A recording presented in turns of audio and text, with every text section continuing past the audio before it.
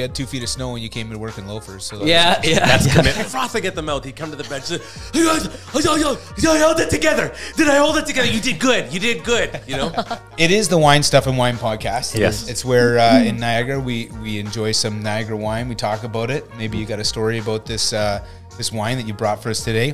I was like, did my son get a summer job that I didn't know about? And then Perrie shows up, loafers on, Yeah. three piece suit, and he's like, "Here's the journal." And I'm a- like, here's a I gold felt journal. like a jerk. I, I should get him something.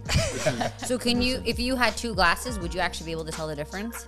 and, and without an exaggeration for sure. Yeah. And I could tell the difference between a liter and a half bottle that sold for twelve ninety five. Yeah. And uh, and and a thirty two dollar bottle of wine. That's your wine glass. I can tell because of the big greasy prints. And I'm like, I don't like. and and pull it off. I committed to the same, very similar for January. I did the wet January, so we're drinking more, drinking more this month. So uh, you know what? uh, seating capacity is 100. What kind of jerk is not going to buy a seat to help charity? What, you don't like charity, Jesse? I Like, love charity. Exactly, I right? love like, charity. No joke. yes, everyone struggles. You got to get to work. And, and I raised $385, but then I decided that I could do better and that, that $10,000 would be a good goal and that $20,000 would be a good goal and that maybe $100,000 would be a good goal. That's of course fluctuated, but but uh, one that never has is that I realized that this in part saved my life. The Terry Fox Foundation saved my life, and then the second part of that is you've never seen a more generous and giving community a- as you will in Niagara. So And one of the things that like really gets me through the days is, especially those tough days, is you come home and you got like kids that that bring it out of you, right? Like it's Oh, 100%. You say like from a friend Yeah, standpoint, you put yourself out there, and when I see your son, it's like you're not using him as a tool to sell houses. You're just like, this is what me and the boy are doing today, and he's like, these eggs are good, and like I love that. I love that because your kids, the kids don't know Yeah. anything else but to be honest. I Yeah. love it. Yeah. Niagara Sports Bar, Niagara's finest Thai. I'm trying to think of every place that's How can we live that's, that's uh, White Oaks. Um, Yeah. We uh, uh, we'll take any one of those, however the night's gonna go. If you know what I'm saying. Yeah. we were at my parents' house the other day, and my dad, he's he's diabetic. He's always cold, so he has the door shut, the heat set at like 88, and the fire going. And my poor mom is like wearing a t-shirt. Oh my god, it's so hot in here. what it always goes into is that Paul Harber and their family are true pillars of the community, 100%. and that's a big reason why they bring the wine. Uh, and this is the third time we've. That's All right, welcome to the Wine and Wine Stuff podcast. This has been a little while. I got to get get Yes. get back into the introduction and get back into the mode here. Uh, I'm your host Andrew Perrie, and my host Evan McDonald and Jesse McDonald are on the other side of the table. And today we've. Are you guys ready for this? Big deal. Are you ready for This this? is a big deal. A big deal. This is Joe Pillitteri. Yes. How? Thank you. Thank Yeah. you. It's nice to be here. Do you I need a new MC? I was cons- Can I help actually that? you would I be a good with that? MC, Andrew Perrie, because everyone knows you. They know you all over the world now. Yeah. And I also my big the biggest stress I had was I always see how well dressed you guys are, and I felt like I have a Carhartt T-shirt on today. I was like, should I go buy a suit? Like, should I go to the outlet mall buy an ill-fitting suit and just wear it in here? But you guys were like, all right, you know what? Pillitteri's coming. Let's wear a T-shirt. Andrew Perrie, that's low key for you. That's that's Yeah, yeah. that's uh, that's Well, you know what? Since COVID, that's it- like a gardening outfit for you. Gardening. Since COVID, I just transitioned into the the cash blazer and Nice. the in the jeans. It's nice. Yeah, who am I trying to impress anymore? But you still wear loafers. We had two feet of snow when you came to work in loafers. So that was- yeah, yeah. That's commitment. I also work. commitment to a look. yeah, yeah. I also work out my on it. garage with slippers. I've seen you. You're like Rocky in there. I feel like I don't know what I should be doing with this. Yeah. it's like it's a it's a it's an over. I'm good, Sam. It's an overwhelming. Pre- Sam Yelly back there at the camera. Yeah, he, he's he's a good, great producer. He's uh, you know gonna come in with all the hot tips for you from behind the camera. So if you see him going like this, it means uh, stop talking wi- about whatever you're talking about. I coached him for two years in hockey. You've never met a more unseemingly bad-tempered person than Sam Miele. Honestly, there would be times when he would be like frothing at the mouth. He'd come to the bench, and say, "Hey guys, yo, yo," and I'd say, "Sam, just take it easy, hold it together, buddy, hold it together." And he'd get back out there. Someone would high stick him. And he, you could hear him swearing in Italian out there. then he would come to the bench love a good and be like, "Did I hold it together? Did I hold it together? You did good. You did good." You know. So yeah, That's the director. hilarious. Let's get a I'm sorry, I didn't mean to let's get a sidetrack us. What are we- Actually, Yeah. Stacy's the director. yeah. Stacy Yeah, Mulholland. Stacey She's a great person. Stacy charge, Mulholland's so- one of my Thanks, favorite Stace, people in the world. this- Yeah, That's well, amazing. It is the wine stuff and wine podcast. Yes. it's where uh, in Niagara we we enjoy some Niagara wine. We talk about it. Maybe you got a story about this uh, this wine that you brought for us today. Uh, so let's let's pour some wine. Let's talk Sure. about it, and then we'll talk about some stuff. Are you guys pouring? Is that what's happening here? Typically, the host does it. Yeah. Okay. Okay. Perfect. Uh, or the guest. Okay, uh, yeah, the guest. I'll get the guest here. All right, I'll pour uh, for Jesse first because that's the way they Ladies teach first. you how to do it in Yep. nice restaurants, and then curl the glass. Very nice. Thank How I you. rotated glass. my- I did. It was very, I was like, very nice. usually I, and I'm going to say this um, humbly. Usually, as a guy who's 48, I've spent as much time in a gym as anyone in a room. But then Evan shows up here, and I'm like, look at those biceps. That's amazing. That's amazing. And then Gonna make me blush. Yeah, it's uh, this is good. So, I'm, so what I'm pouring is a 2019 Cab Franc from my good friend, uh, my good friends, the Harber family at Ravine. I'm actually doing dry January right now, so I'm going to be doing a a, uh, A pretend? aromatic, Yep. aromatic on this. problem. We can spit it out. You want to spit, uh, Yeah, yeah. spit it? Oh no, I'm, I'm good. I'll just I'll sniff. But uh, so here's the thing. here's the thing uh, with uh, Cab Franc. I could have chosen any number of wineries. Uh, here's why I chose Cab Franc. I am in the wine business. I sell vineyard equipment. Uh, when uh, when anyone in the world asks us, okay, Niagara wines, tell me about them. What do they do really well? Across the board, Cab Franc. Uh, and I've heard different people say different things about different wines. Yep. Uh, for a white Chardonnay in Ontario, you can't go wrong. For a red, Cab Franc is really the best grape we grow. It's uh, it's the one that we can we can ripen most consistently, and it's the one that we can bring the breast the the. bre- Bring the, The, breast. uh, the, uh, Let's do it. the best expression of our terroir out Yeah. in Cab Franc. It's uh, it's a great wine. I chose Ravine uh, because I could have chosen Vineland Estates. I could have chosen Pillitteri Estates. I could have chosen Riverview. These are companies that uh, support the community Yes. in ways that people Yes. will never know. So Ravine, for instance, uh, we've done two shows for the Terry Fox Foundation at Ravine for the past two years. Well, four. We did two each year. Um, and uh, we've helped raise uh, eighty thousand dollars because they gave us their space, Yes. they gave us their people, they gave us their food.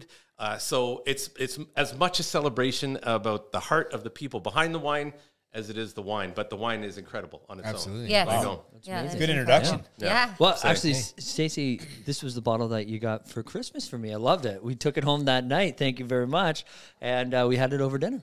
Yeah, so let's get in there. And actually, you gave me the, one of these bottles too. Yeah, because you brought me a journal. A- I, a I, gold I journal. commented uh, on a day planner Yeah. that you had online, and the guy brings it over. I'm like, who is driving this brand new Mercedes? And then I was like, did my son get a summer job that I didn't know about? And then Perrie shows up, loafers on, Yeah. a three piece suit, and he's like, "Here's the journal." And Here's I'm a- like, here's the I gold felt journal. like a jerk. I, I should get him something. This is- so that's that's pretty incredible. No, so Cab Franc is uh, is is typically a more cold hardy variety for us. So means that in weather like we've been having, minus 18, minus 19, minus 20, there's a, a, a decreased danger that we're going to lose the vine or that the buds that are embedded in the vine are going to die. So they, when you hear wind machines running in Niagara, uh, at this time of the year, that's what they're for, is to try and protect the buds and protect the vine. Uh, Cab Franc is typically a cold, hardy variety, um, but it does it does require a few more ripening days. So to get it ripe, we uh, we we ha- we need a few more days of heat heat units in the summer, and we can usually do it in Ontario really well. Uh, 2019 would have been an awesome year, and I'm looking forward to dry January being over. But I can't Yeah, like, yeah. commit to something. Yeah, yeah. I can't. You're so close. But then, like, uh, also, how monumental would it be if I stopped right now? They're like, "There's a guy. He is not even worth the paper he's written. on." yeah. Well, this is uh, man. So I'm trying to. Um, what are you guys getting out of this? It's delicious. It's good wine. Uh, definitely getting some Franc. Getting some Franc. That's good. It is Cab Franc. Yeah. So cherry is always something uh, that Yeah. that that that sort of comes out of here. So if you, if you've spent any time in Napa, and I think you guys have, We've been just about everywhere. Yeah. So if if you compare this to like a Napa Cab Franc, it is totally different. If you had something from J Lohr or uh, or Kendall Estates or uh, whatever, uh, peak ripeness when they harvest when they harvest that fruit would be 26 to 28 Brix. So that's a sugar scale that we use to say how sweet is the grape going to be, which translate to translates to how's the wine going to taste. In, And that's the thing that you yeah, look exactly. The, the- refractometer. Yes. Exactly. Yes. So it, it gives you using light. It tells you how much sugar is in the grapes that you're harvesting. In Ontario, uh, we'd be looking like more like 22 to 24.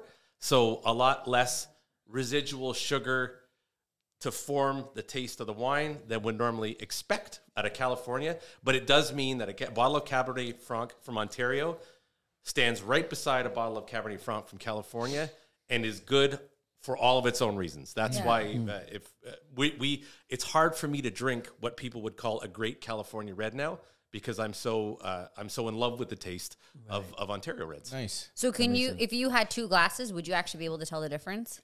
and, and without an exaggeration for sure. Yeah. And I could tell the difference between a liter and a half bottle that sold for twelve ninety five. Yeah. And uh, and and a thirty two dollar bottle of wine. Um, the great benefit for and the reason I do dry January, Jesse, is that is that I have probably had more opportunities to taste great wine as part of my job, not Yeah. as not as something you do. Like my wife said to me the first time I did a, a sober stretch of four months because I was like, I'm just drinking too much, Yeah. too much wine, and my and my wife came with me for kind of a bring your wife to work day. Like she was like, oh, I'll just come with you. I'll go visit customers. And she said, Are they just offering you wine because I'm here? I was like, No, this is the deal. Like, it's harvest. There's a harvest lunch happening. They bring two or three bottles of wine out. Uh, it's the end of the day. There's craft beer there. There's so as as part of what I do, Yeah. uh, in in not just Ontario, but we travel all over all over the states as well. People just want to celebrate their wine when you're there. They want they, they know that you're you're in the wine business. that You've tried a bunch of wines, and they're like, "Why don't you try, Try this? Take just take it." And I'm like, "It's ten o'clock in the morning. Yeah. it's ten o'clock in the morning." Yep. Yeah. Well, it's you know what? It's really impressive to commit to something like that. Yeah. And and and pull it off. I committed to the same, very similar for January. I did the wet January, so we're drinking more, drinking more this month. So uh, you know what? Let's work it out. I'm just doing this January, and it's- just trying to get through January. yeah, it is, it's not easy either. Right? Don't die in January. it's- That's the key. It's Yeah. not easy. You know, Yeah. you commit to something and you got to follow through. So I, I appreciate you. that. Thank you. So, Yeah, the, so I'll uh, drink yours after. Yeah, absolutely. This is untouched. You can always. My wife always says, like, if we're at a party, she's like, "That's your wine glass." I can tell because of the big greasy prints, and I'm like, I don't like. I'm not twelve. Like, So I think it would be, you know, I, I, think we really regret if we didn't bring you on and ask you a couple of questions about comedy. sure. Yeah. Absolutely. So walk us through. Uh, you've always been, you know, you were John Deere before, and then you have your own company and all this other stuff, you know, involving wine and farms. But where did, um, you know, becoming a comedian fall into all of that? So I uh, I was uh, maybe always a class clown, and and then uh, uh, would like uh, would like to be the center of attention in most rooms, and and middle child like you're a peacemaker, right? Like you're trying to uh, mitigate arguments between your parents and your teenage sisters, and and just everything that goes on at a house. But I, I did I I entered an open mic night once. Early in my married life. So we've been married 23 years now, and I, I don't even remember when that was. Might have been like 99 or 2000. Oh, wow. And they give you, you know, five minutes on stage at Yuk Yuks in the Falls. Yeah. And, uh, and five minutes seemed like an eternity to write for. Like it seemed like that was going to be a long time. But I, I went up there, and, and open mic nights are the worst. It's like, it's like when the, the real estate market is slow and you have your friends and family come to open houses, I can imagine. That's, that's what an open mic night is. Like Yeah. you invite 10 people, like just, just buy a bunch of beer and then laugh at the jokes. So there's maybe like 50 people there, but I did get some solid laughs. I got, I got some, some jokes that I've been telling for a while. They got a solid laugh. And then I, uh, uh, I had a good friend of ours who was a judge, and I used to sort of say, like, I love comedy, but I don't know if I want to do it for a living. And, and he reminded me, you don't have to. You can do something you love as part of your life and do it as much as you want. So I, st- I had the idea uh, for the Red Roof Retreat. I said, I'll do a comedy show for them at my Cousins Winery, Pillitteri Estates. Uh, seating capacity is 100. What kind of jerk is not going to buy a seat to help charity? What, you don't like charity, Jesse? I Like, love charity. Exactly, right? I love Like, charity. No choice. so Yeah. we we we got 110 seats, uh, and through friends of friends, it's I realized it wasn't hard to sell out 110 seats. But um, this is a longer story, but we have time. I think. Yeah, well, yeah. Um, Apparently. then I realized I didn't have an act. Like I I had uh, I didn't really have like a 40 minute set that I could do. Just So five minutes of jokes. five minutes Five of minutes. jokes was going to happen. Like people were not. If I could just repeat the same five minutes of jokes eight times, I would have been fine. But I had my favorite teacher in the world, biggest influence in my in my academic life was Miss Volante. I went to Denis Morris High School in St. Catharines, and Miss Volante was my drama teacher. She was a great woman, and I reached out to her and I said, Maria, I have committed to this show in 2001. It's sold out. There's two months left.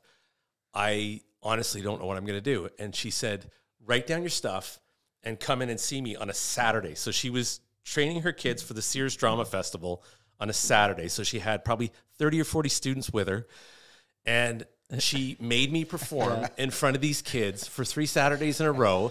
And she said, Joey, amazing, uh, like a 15 year old kid who's sober is not going to fake laugh for you. So if it's not funny, they're not going to laugh.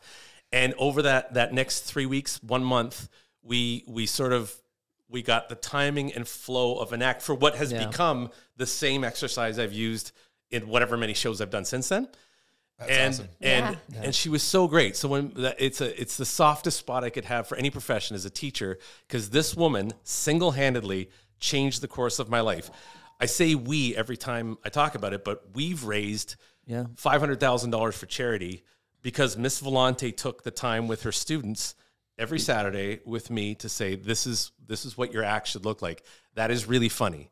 That's not funny. Don't do that. You're being you're punching down. You're being mean.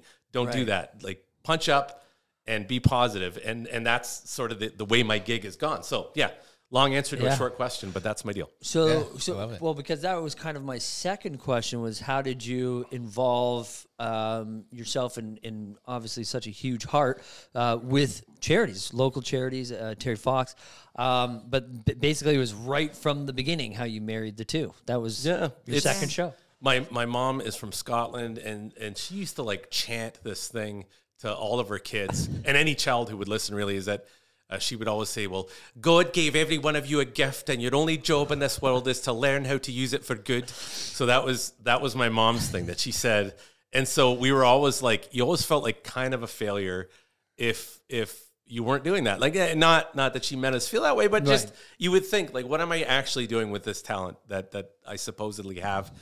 Uh, so um, I I I just decided I would do is I, I do private gigs, I do corporate gigs, uh, but I I got I sort of cut my teeth on doing charity gigs uh, because it was a great way for me to sort of get this out of my system and and raise money for good causes. It's great. So how much money have you raised? Like I would say, uh, I stopped keeping track because I, I I realized that there was much. something slightly narcissistic about keeping track of of the dollar figure. But uh, it's north of we've raised for the Terry Fox Foundation alone. Team Pilsy, our team has raised um, uh, like three hundred twenty thousand dollars, three hundred thirty thousand dollars.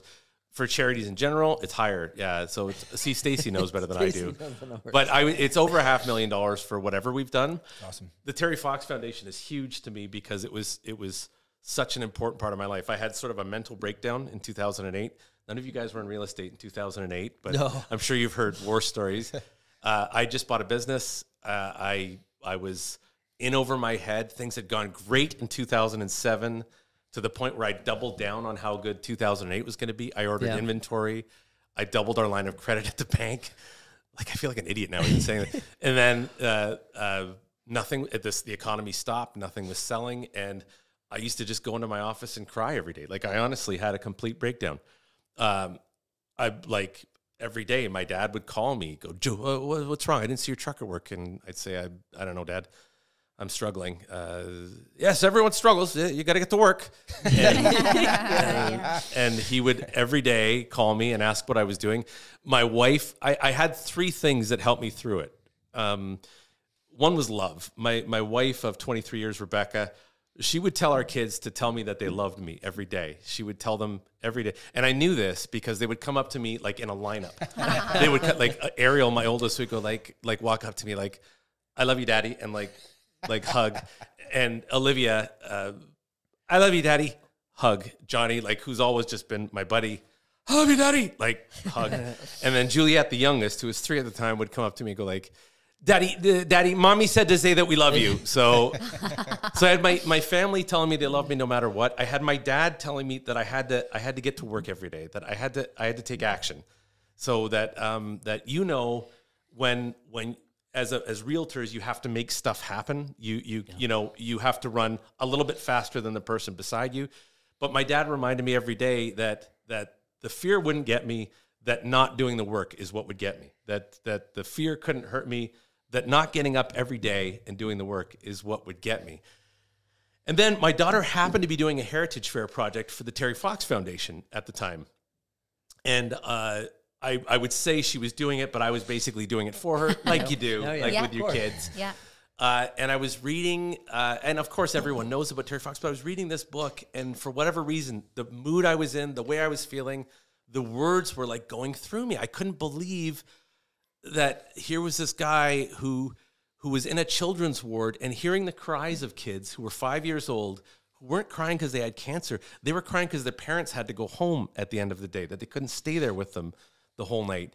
And and reading that he said uh, because he'd read an article about an amputee who was running marathons he was going to run across the country.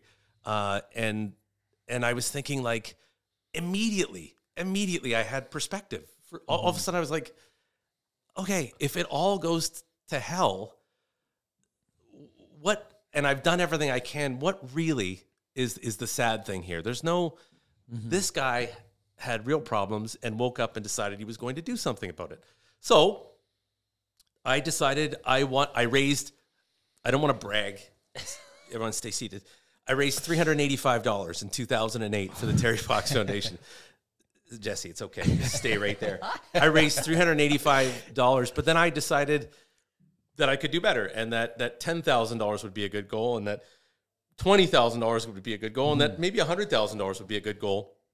That's of course fluctuated, but but uh, one that never has is that I realized that this in part saved my life. The Terry Fox Foundation saved my life, and then the second part of that is you've never seen a more generous and giving community a- as you will in Niagara. So it, it- you've, uh, I've met people that moved here six months ago, and I've met people who have lived their whole lives here. But as part of this community, they want to be part of giving as much as they can.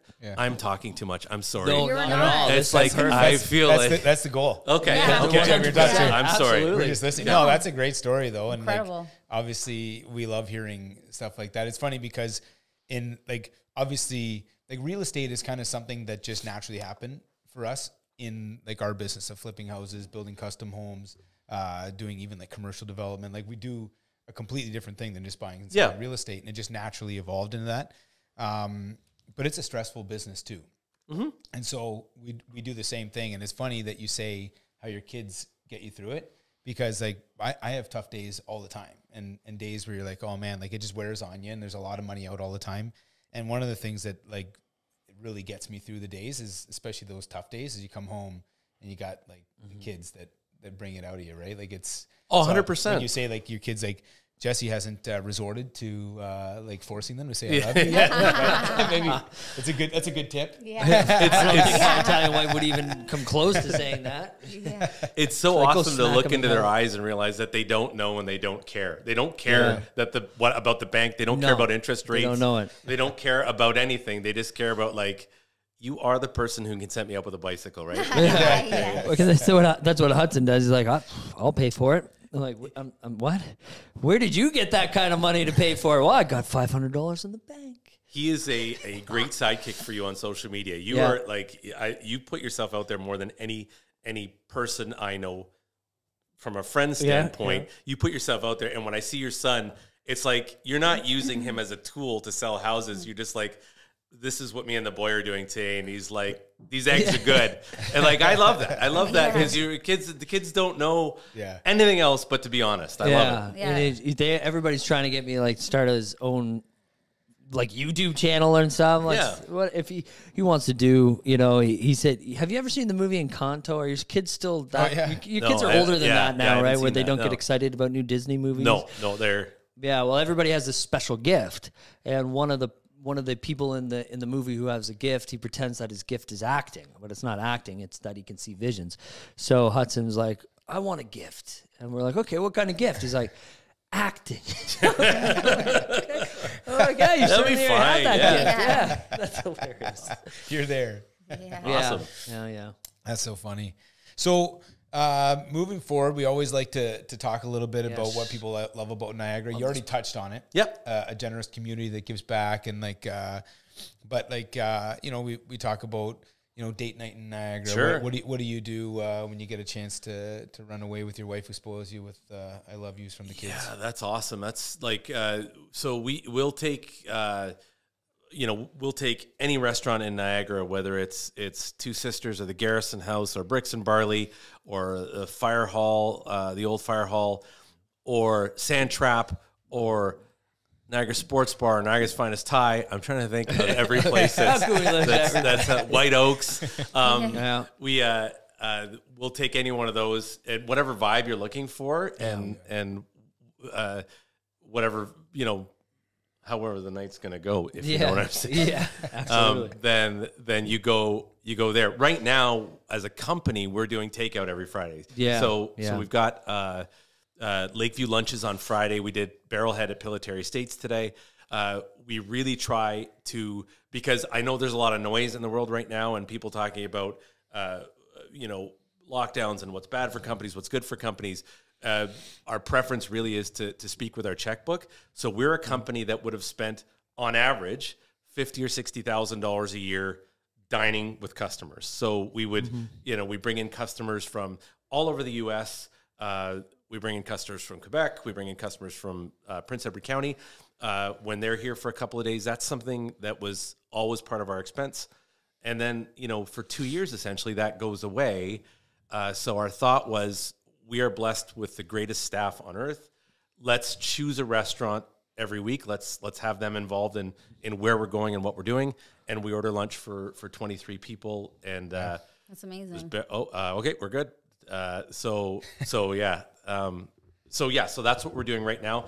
But yeah, uh, my wife and I. I remember the first time I did a gig at White Oaks. They gave me uh, they gave me a night at White Oaks with dinner, and I really felt like that was the most celebrity I ever felt. I was like, uh, you want to you want some dessert because it's included with the certificate, and then and then stayed Any uh, dessert you uh, like. stayed at the uh, the fancy the fancy room in White Oaks. I love that. Yeah. That's awesome. Okay, I'm going to ask you about the Pillitteri Family Foundation. the Niagara Community Foundation, the Vincent Margaret Pillitteri Fund. Love it. The Niagara Pil- the Niagara Community Foundation ap- approached us about sponsoring, uh, making a hundred thousand dollar commitment over five years. That was three years ago. Uh, my sisters and I decided that we would name it in honor of our parents because they've both been really great influences on our life um, for a bunch of reasons. Uh, and and you know, I, I do these comedy shows, and I'll say it as many times and as loudly as I can, but without my older sister Eileen organizing the logistics and the seating and and knowing what makes me nervous and not, uh, and my younger sister Caroline, who is very funny in her own right, uh, basically going through my set list for for every show because I try to have at least seventy five percent of jokes that I've never done before with every show. Uh, without those two, it's impossible. And and and they got that from my parents. They got that from when there's work to be done, do it and do it with an open heart and give your time freely. So uh, another long answer to a short question, but we've committed hundred thousand dollars. Shows have been tough to plan, uh, Yeah. but we are going to do one this year, date and time to be announced, uh, with with hopes of uh, of of of of that. But we've we've contributed as a family to that privately as well. so, so it's basically like it's a show, Yes. and and where does the the money go for that one? So it goes to the the Niagara Community Foundation. That hundred thousand dollars, uh, the interest uh, that it gains in perpetuity, and those funds are are pretty uh, carefully regulated. So the minimum return that they give is three and a half percent a year, and then if the returns are higher than that, that money is split evenly between uh, the Terry Fox Foundation, the interest, and and uh, Red Roof Retreat. Uh, Steph and Mo Bjorgen, two of the most selfless people you'll ever meet, that have started and and and take care of the Red Roof Retreat here in Niagara, which is a a camp uh, and activities uh, center for children with uh, that have have physical challenges. Okay. Very good. Yeah. And and so Stacy mentioned earlier that your your sister's actually funnier than you are, which uh, They- which, which I find hard to believe. The- they But, it- uh, my they're both funny in their own. They can both do a good.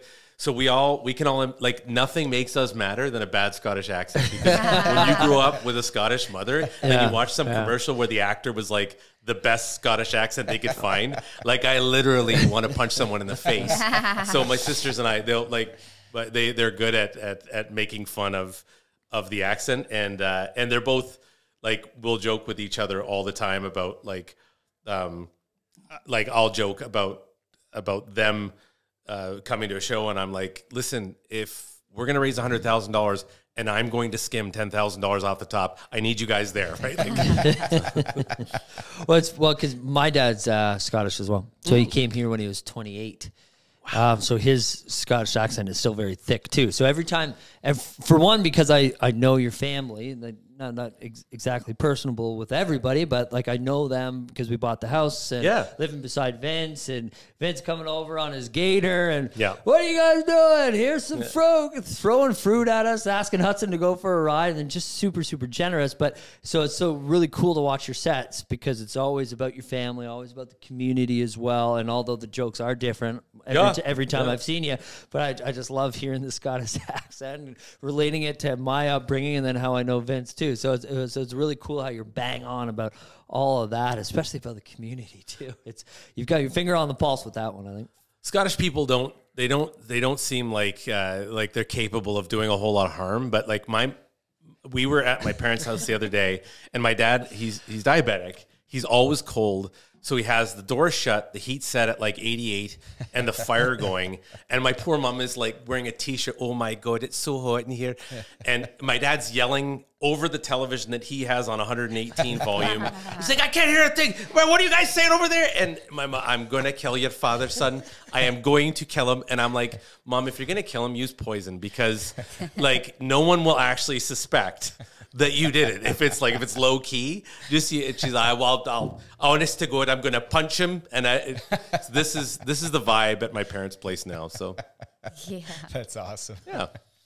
Well, Joe, I think that's a great time to end, and um, thank you so much. No, coming this is on my pleasure. That Yeah. was amazing, and uh, we've we wanted to have you uh, on the show ever since Yeah. you made fun of Evan at Yeah, the, yeah. at the Yeah. Terry Yeah. Fox. I considered coming up with a joke to make fun of you somehow, but I was like, "This is too dangerous." No, you guys- this, this guy's too funny. He's gonna Uh, he's gonna tear into me. I could edit the video after. You should ha- show like honestly after this in the in whatever comment section you can post a picture of the two of you that night. I was like, those are some well dressed, good looking people in the front row. Like that's yeah. Oh wait, and then didn't uh, what's oh my god, what's his name again? Mike Green. What's his uh, David Green. David Green. yeah. Green.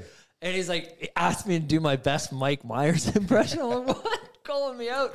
So the only thing I could do is was the fat bastard. That bastard's a great one. What are you talking about, Andrew? I heard it from the sidelines. Yeah. I like. I, I get psyched It up. was at the- good. Yeah. There you go. Well, anyways, guys, thank you very much uh, for joining us. It's uh, a great first episode back in 2022. And Joe, thanks again. Thanks for having Thanks me. for being on I the do want to say one thing. Yeah, yeah, before we please, go. of course. Um, Ravine Winery. Obviously, this is the wine that we we showcased today.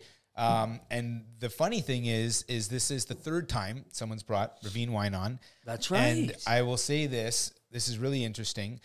Uh, the wine is great, obviously, and uh, the comments are, you know, this wine's amazing. I love it for this reason. Uh, and then the scenery there is incredible. But what it always goes into is that Paul Harber and their family are true pillars of the community. 100%. And that's a big reason why they bring the wine. Uh, and this is the third time we've. That's we've awesome. it. And so I think it's really cool that you brought that wine, you picked that one.